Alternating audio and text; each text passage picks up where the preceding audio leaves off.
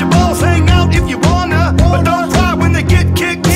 The blackout, sudden end to your party. The death pop happens quick. Every day, throw it up, celebrate that shit pop tonight.